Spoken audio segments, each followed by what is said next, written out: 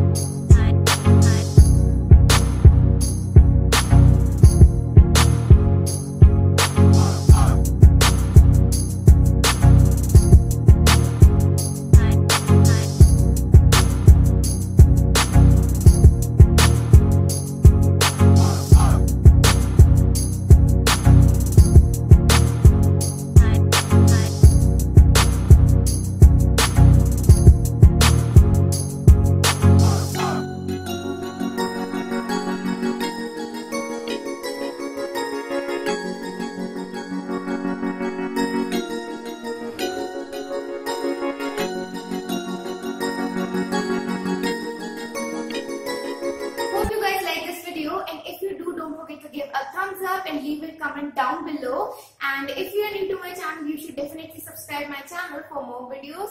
And thank you for watching and I will see you soon with a brand new video.